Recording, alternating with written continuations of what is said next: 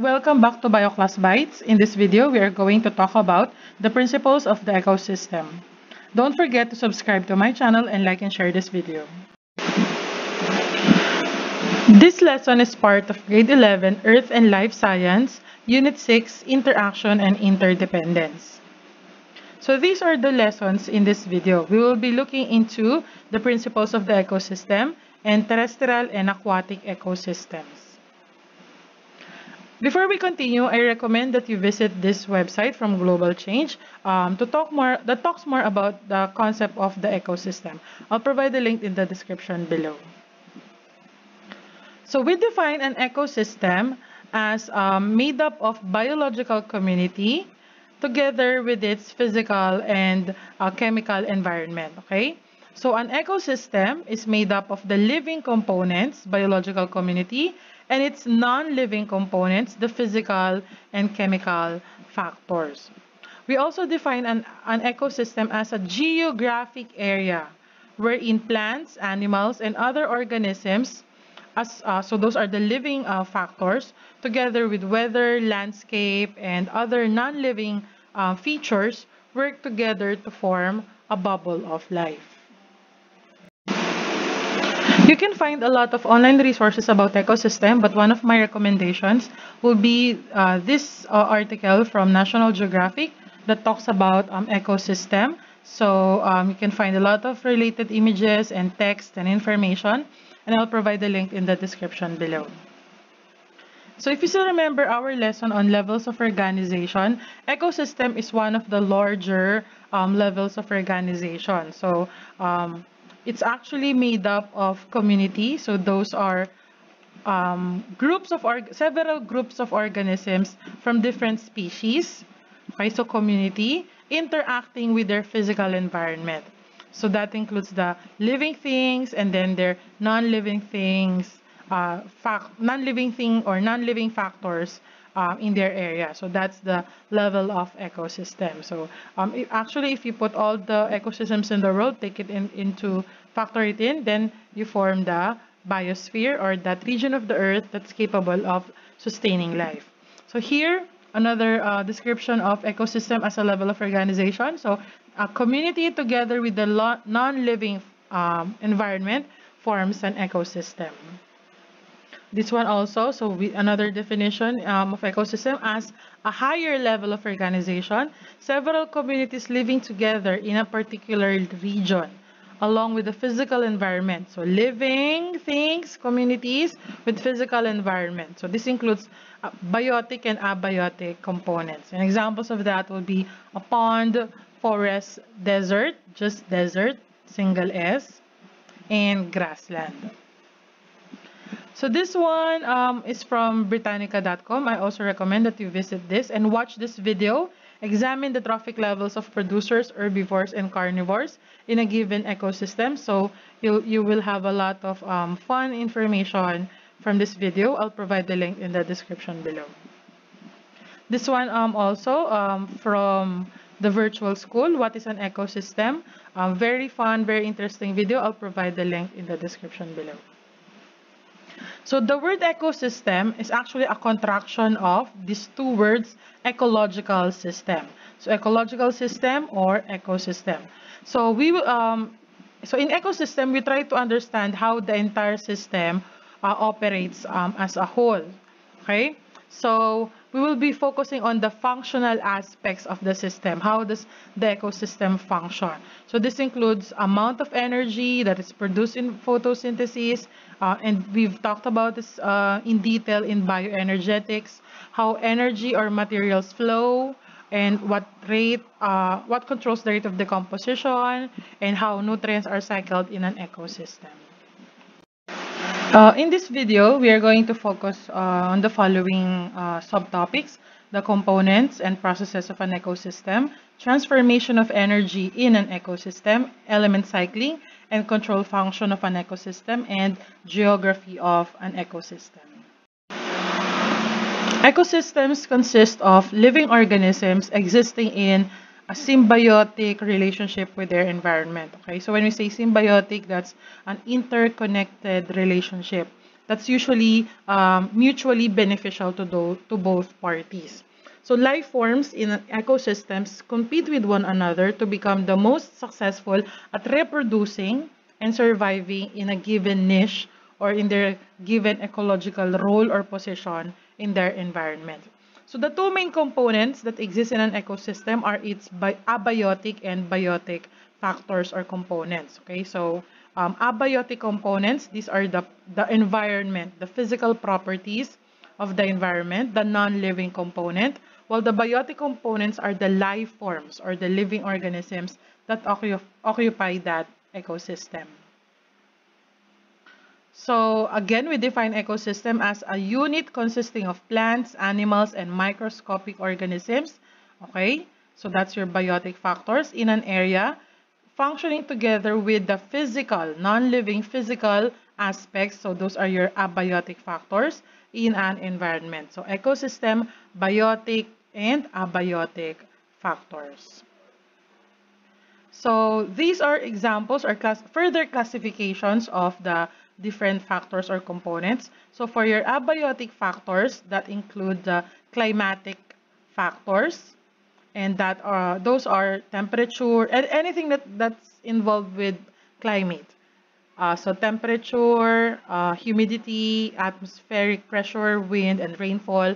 While edaphic factors, so those are the soil or the or the or the ground features so that's soil structure soil ph minerals and even the topography um, of the ecosystem. Biotic factors are further divided into the their ecological niche or the role they play. So you have your producers uh, which are also your autotrophs. So these are your photosynthetic plants and algae and phytoplankton. Consumers are your heterotrophs Okay, so those are your herbivores, carnivores, omnivores, and detritivores. Uh, and then their decomposers or your saprotrophs. So those, those are your fungi, decomposing bacteria, and water molds. Note that the word troph here means to feed. So your autotrophs, auto self, can feed themselves through photosynthesis. Hetero means others, so they need to feed on others. And then saprotrophs, they feed on decaying um, matter. The next principle um, of an ecosystem are the processes of an ecosystem. So um, we all know that uh, energy enters the biological system in the form of light energy. So that's coming from the sun. And through photosynthesis, the, uh, that light energy is transformed into chemical energy. Okay in organic molecules, um, so such as photosynthesis, and then harvested um, to, to become adenosine triphosphate or ATP in the process of cellular respiration. And in this process, ultimately converted to heat energy as a byproduct. So once this heat, heat energy is released, uh, it is lost to the system um, and cannot be recycled um, anymore. Okay, so without the continued input of solar energy, continued um, uh, light energy coming from the sun, biological systems would quickly shut down. So because of this, in respect to energy, the earth or an ecosystem is actually considered an open system. Okay, we've all established this in um, bioenergetics. So again, to emphasize, ecosystems have energy flows. Okay, so that flow of energy is usually seen in food chain and food web, wherein the solar energy coming from the sun um, is captured by plants and converted to chemical energy through photosynthesis. So they are consumed by your herbivores and carnivores. So the energy is transferred to them and then through cellular respiration, um, uh, transformed into chemical energy in the form of ATP. And then when all these organisms die, eventually the decomposers will break down their um, um, uh, physical bodies and then con and convert and, and recycle those materials into abiotic chemicals that can be used again in uh, the ecosystem. Okay, so all of these processes um, also give off heat um, as byproduct. So in terms of energy, the Earth is an open system. However, in terms of matter, the Earth is considered a closed system. Therefore, the Earth must recycle all those materials. So this is where this part comes in. So decomposers must recycle all these materials to be used by the next group of organisms. Living organisms are capable of cycling and recycling materials in an ecosystem. So elements such as carbon, nitrogen, and phosphorus enter living things, uh, for example, plants, uh, once plants ob obtain these materials from their environment, so from the atmosphere, from the soil, that through their roots, while animals obtain these elements um, whenever, whenever they consume other organisms. The third principle is transformation of energy. So the transformation of energy in an ecosystem always begin, mostly begin with the sun. So um, plants were able to capture the energy from the sun, solar energy, and, and convert it into chemical energy through the process of photosynthesis. So carbon dioxide is combined with hydrogen and then with the presence of the pigment chlorophyll. So um, plants are, are capable of producing carbohydrates or those um, glucose molecules.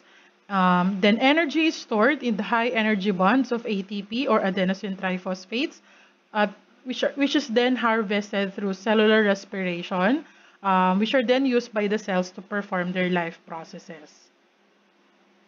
So I hope you still remember our lesson on bioenergetics. So this is the uh, chemical equation of uh, photosynthesis. So solar energy plus six molecules of carbon dioxide and six molecules of water are all needed to create one glucose molecule and give off six oxygen molecules as byproduct.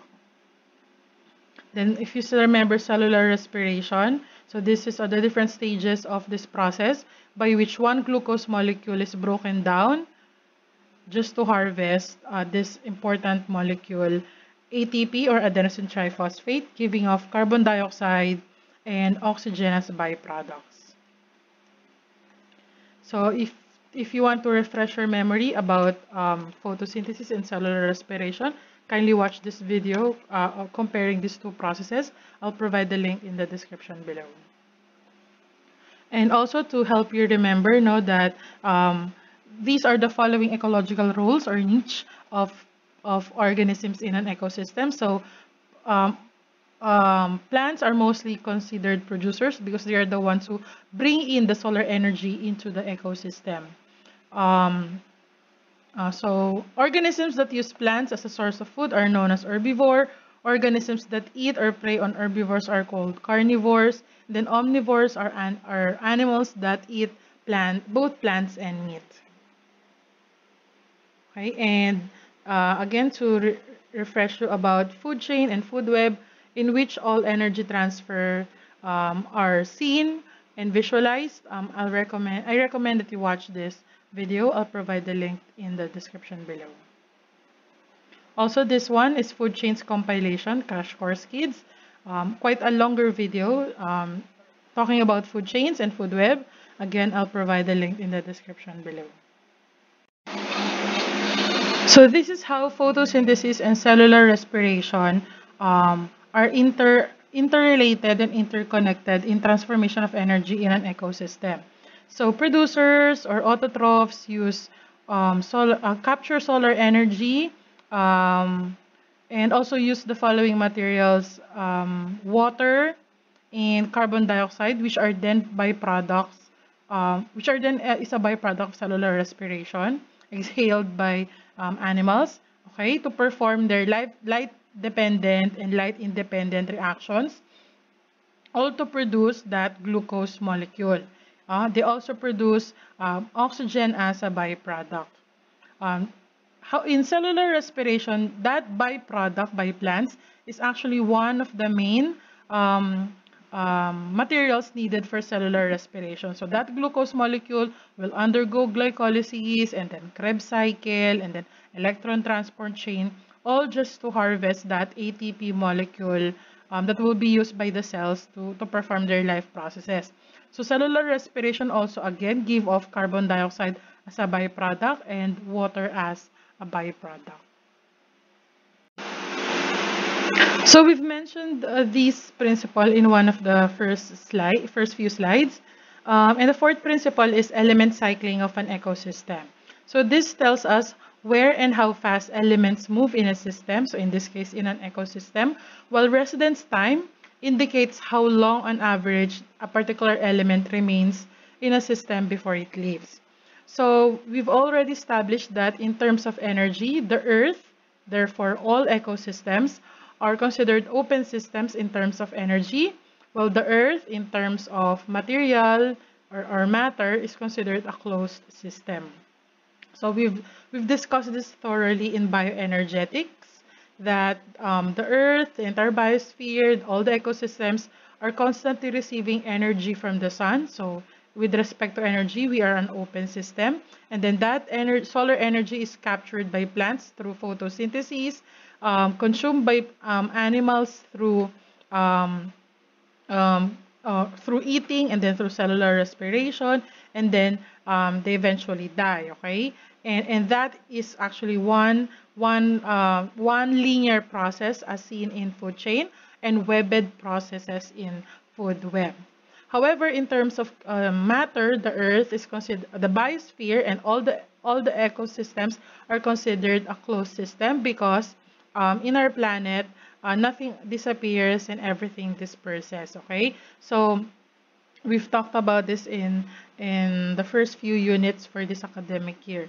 Okay, so uh, slow ge slow ge geological cycles are also involved in in some of this cycling of nutrients. Okay, such as sedimentation and mineralization, um, while other um, geological cycles such as volcanic eruptions and weathering also contribute into adding materials in uh, an ecosystem. The fifth um, principle is control function of an ecosystem.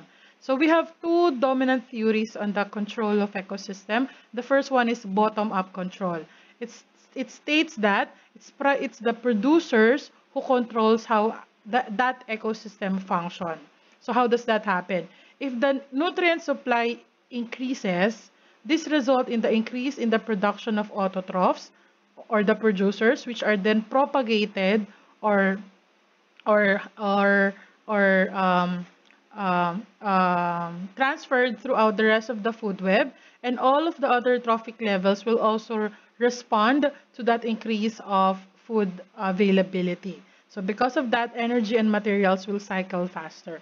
So to visualize that, so, so let's have this um, example. So in bottom, so you can see here the producer, the host plant, then the first level consumer, grasshopper, the herbivore, and then the spider as the predator.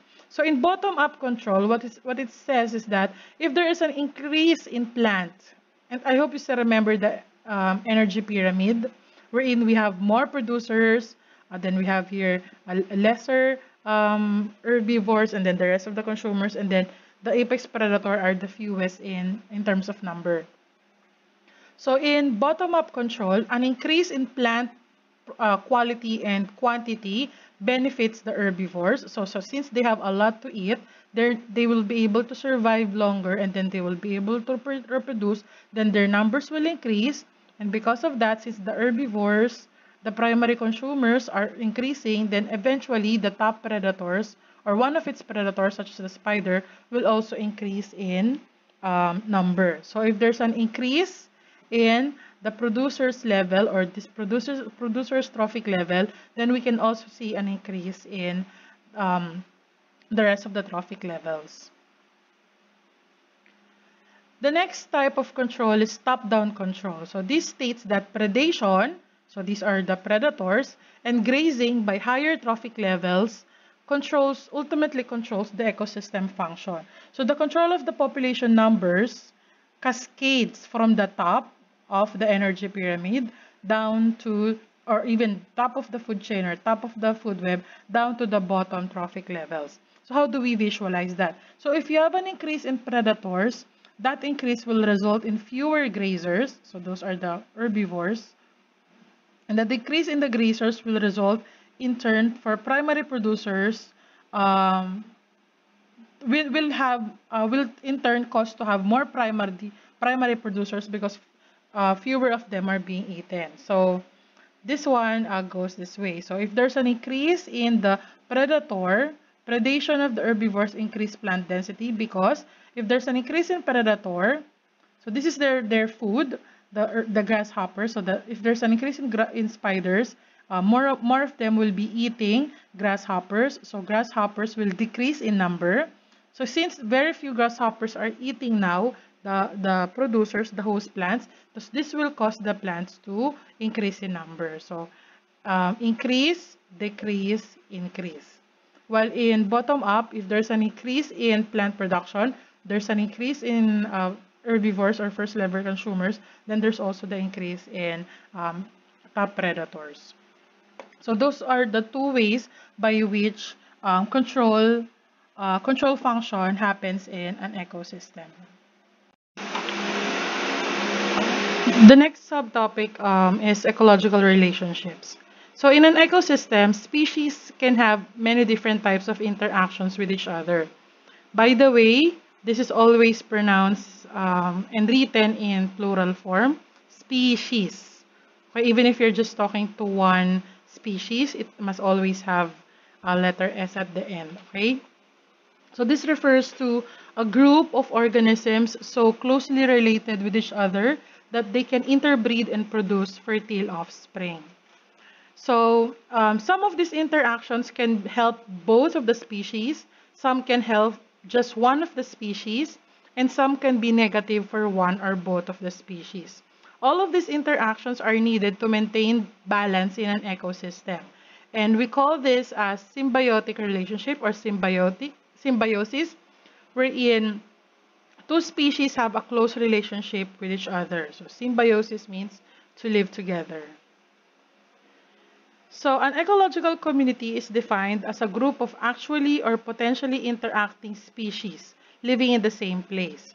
And a community is or, a group of uh, several populations of different species is bound together by a network of influences that species have on one another. So these are examples of those ecological relationships. And let's look at the um, signs in order for us to remember and then the effects of those relationships to both species. So we have mutualism. So to remember that positive, positive, it means that both species benefit from the interaction. A commensalism, positive zero, one species benefits, the other one is unaffected. Competition, negative, negative, each species are affected negatively. We'll see more about that later. And then parasitism, um, predation, and herbivory, positive, negative one species benefits, the other one is disadvantaged. So to learn more about uh, parasitism, commensalism, and mutualism, I recommend that you watch this video from Amoeba Sisters, Ecological Relationships. I'll provide the link in the description below. I also recommend that you visit this um, article from National Geographic, Ecological Relationships. They have a lot of information and examples and photos um, again, I'll provide the link in the description below. So mutualism describes ecological interaction between two or more species in which, in which both of them or all of them benefits from the interaction. So this is thought to be the most common type of ecological interaction and it is often dominant in most communities um, around the globe. So let's look at some of these examples. So we have here a red-billed oxpecker. Okay, so that's the bird here, which eats the ticks on the impalas or, or, or this um, organism, right? the horned organism. It eats ticks on the impala's coat in a cleaning symbiosis. Then dogs and sheep are among the first animals to be domesticated. So both dogs and sheep have mutualistic relationship with humans. So we take care of goats as pets. So in, in turn, we get protection from other harmful creatures. Okay, they protect us. While sheep, they have food and shelter. So uh, that they get from humans who uh, who take care of them. Um, in return, they provide their um, uh, wool. They, they provide their their um, uh, wool for humans to to harvest. Then hummingbird, hawk, moth, drinking nectar um, from this plant, Dianthus. Um, so they get the nectar from the plant, but the plant on, on the other side um, uh, get um, uh, speeds up pollination because the the hummingbird is one of its many pollinators. So they, they help each other. The, the, the plant provides the nectar for the bird, then the hummingbird um, allows pollination or lets pollination happen among the different plants. Then this clownfish and uh, sea anemone, they have a mutualistic uh, symbiotic relationship. So here, the fish, um, uh, the fish stays here in the anemone and have eventually adapted to, to, to be resistant to the stinging, stinging um, abilities of the sea anemone. Um, so it drives off butterfly fish, uh, which is possibly one of the uh, consumers of the sea anemone while the sea anemone tentacles protects the fish from predators. So those are just one of the many examples of mutualism. So commensalism. So this is a type of relationship between two organisms in which one benefits and the other one does not. So this includes the commensal, the species that benefits, while the host is the unaffected organism. So we see here three frogs use the plants as protection. So the plants um, uh, is the host, so they are not affected, while the frogs um, are the commensal species. So cattle egrets, they, they eat the insects uh, stirred up by the cattle when, when they are grazing. So that makes them uh, the commensal, while the cattle or the or the cow are not um, cows are not affected. Golden jackals, so that would be this um, dog-like uh, similar to dogs or, or related to dogs uh, organism. Um, once they have been expelled from a, a, a, pack, will trail a tiger to feed on the remains of its kill. So the commensal there will be the, the jackal, the golden jackal. And then, because it, he's, it is the one that benefits from the remains of the kills of the tiger. And then the tiger is the host because it's not affected um, whatsoever. Next will be competition. So this is an interaction between organisms or species, uh, which both of the species are, are harmed in the process. So this is because of limited supply of one resource, such as food and water, or sometimes even mates, okay, or females in the species. And they're used both, uh, and use can use by both by, by both species can also be a factor for their competition. So examples of that would be a male lion and spotted hyena. So both of them have the same ecological niche. So they have the same ecological roles in the ecosystem. So they're in competition with each other. Um, so sea anemones compete for the food. So one sea anemone competes with other sea anemone for um, for food for the territory in their in their location. Um, then we have here um, beast. Um, so those are two male hartebeests locking horns, fiercely defending their their territories, and some sometimes the females of their territories. So they would fight, and then whoever wins will get to keep the territory. So that's one example of competition. And then we have here flamingo, flamingos. Okay, so they are competing for territories, mates, or food. So they're fighting with each other for those limited resources. Then predation is an interaction wherein one organism, the predator, kills and eats the other, its prey. So predator is the one that hunts, prey is the one being hunted. So predators are adapted for highly specialized hunting. Uh, so that allows them to be to be very to have very acute senses, vision, speed, hearing, or overall power.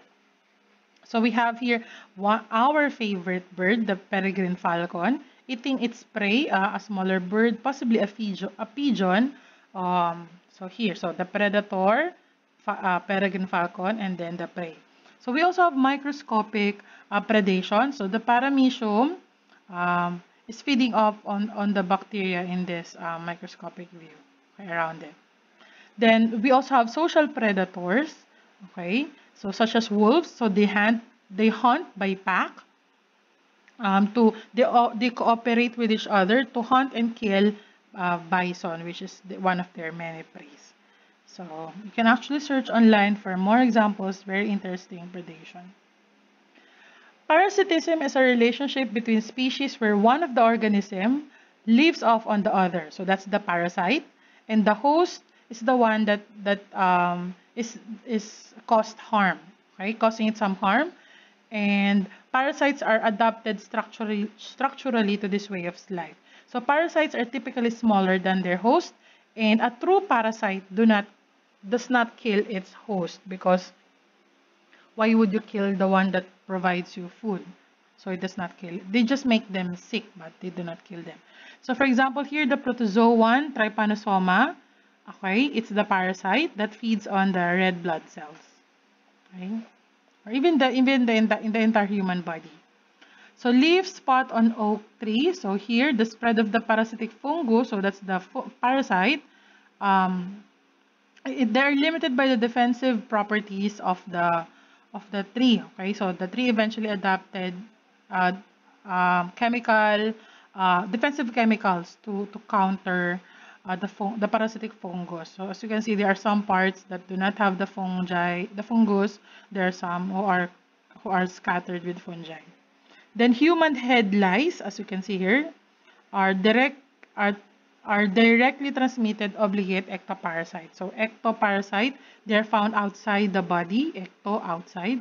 So they are examples of parasites in humans.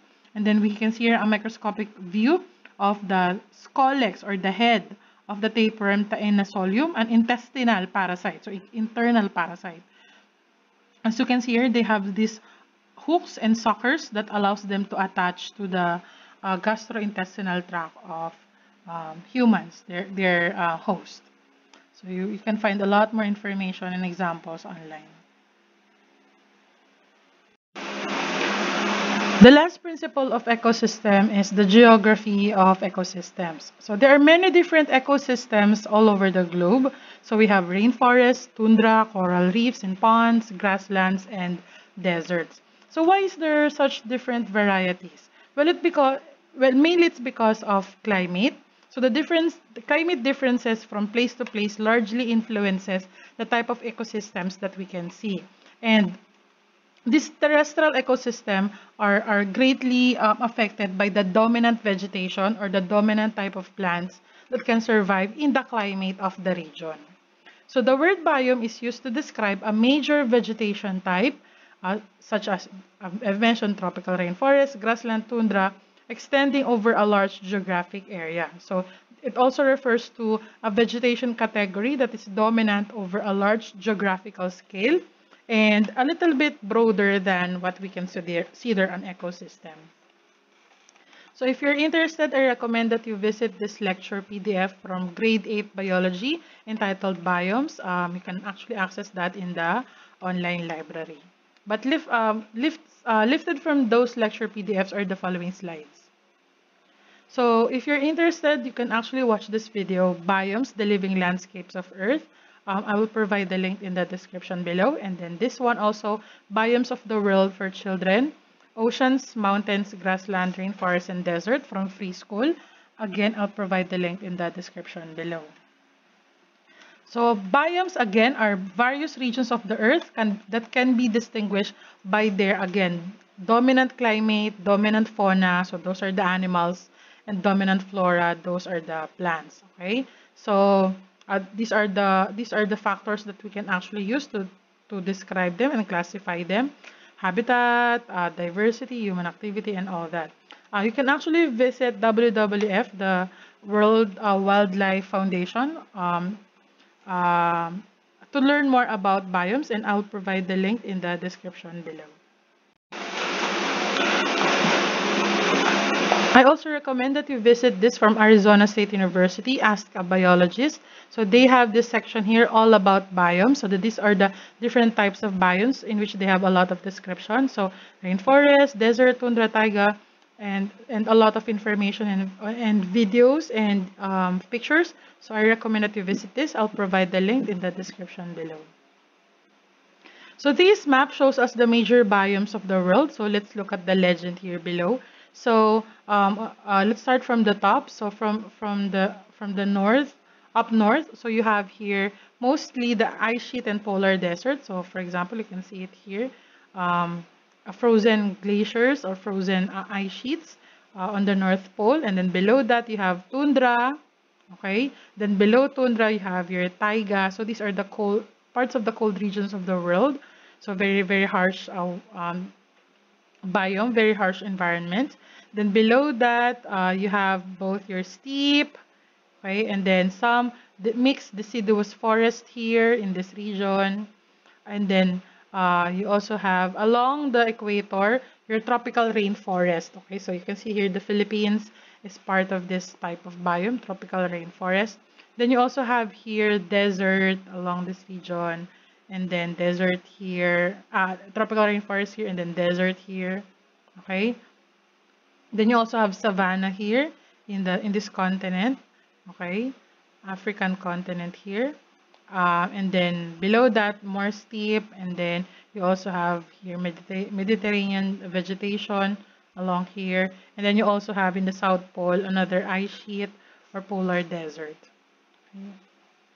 So this shows us the comparison of the annual average annual temperature and average annual precipitation and what type of biome can survive in those conditions. So for those with um, very uh, below zero annual temperature, so below zero, negative degrees, so very, very cold, then very few below 100 annual precipitation. So you have there your uh, tundra.